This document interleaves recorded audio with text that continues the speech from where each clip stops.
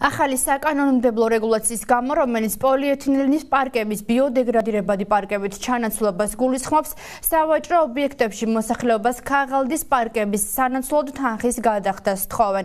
თელაველები მათთვის დაკისრებულ ამ ახალ ვალდებულებას აპროტესტებენ. თუმცა ზოგი მათგანი ამბობს, რომ სახელმწიფომ უდავოდ კარგი ნაბიჯი გადადგა. რა შენიშვნები აქვთ ადგილობრივებს ახალ რეგულაციასთან დაკავშირებით, რომელმაც მათ ბიუჯეტზე ემოქმედა და როგორ აფასებს მთავრობის ინიციატივას არასამთავრობო სექტორი. ტელეკომპანია თანამგზავრის სიუჟეტში გაიცნობით. ები ფასიანია თქვენთან თუ უფასოა? მაგდენარი. ანუ ფასი ხდის ახლა მომხმარებელი? თუ სავაჭრო ობიექტები 1 აპრილამდე მომხმარებლებისთვის ქაღალდის თუ პოლიეთილენის პარკებს უფასოდ გასცემდნენ, ეს მომსახურება ახლა უკვე ფასიანი გახდა.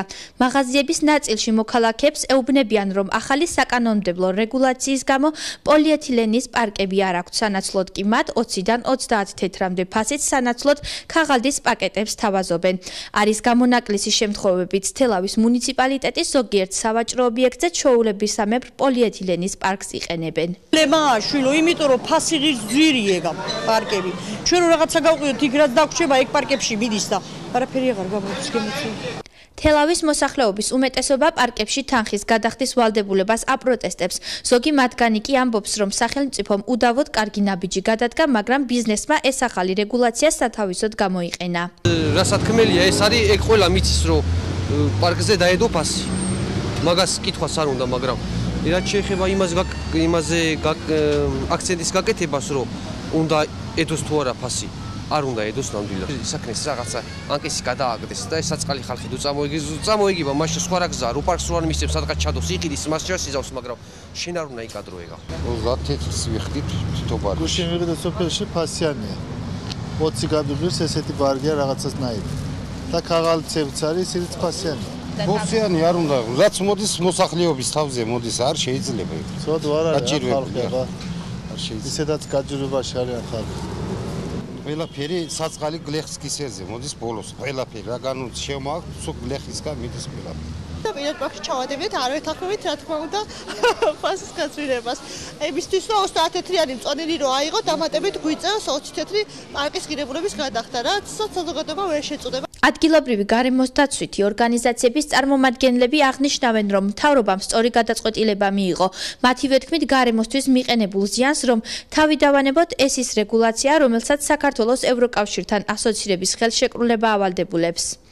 ну გასაგებია რომ ეს ამ პარკების ამ ახალი ბიოდეგრადირებადი პარკების თვითღირებულება არის შედარებით მაღალი თუმცა თუ ჩვენ გვინდა რომ ვიცხოვროთ სუფთა გარემოში ჩვენ მომავალ თაობას შემოუნახოთ შეუნარჩუნოთ ის სუფთა გარემო ან შეუქმნათ აუცილებელია რომ გარკვეულ მსხვერპლზე წავიდეთ.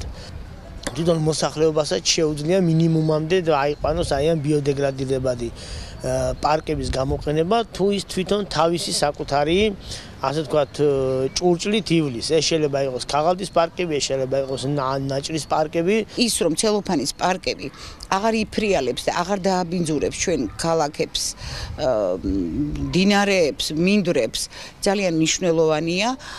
და საჭიროა ნამდვილად დროული კი არა შეიძლება თქო დაგვიანებულიც არის ევროკავშირის ქვეყნები ძალიან ბევრი დიდი ხანია გადავიდნენ ამ მეთოდზე.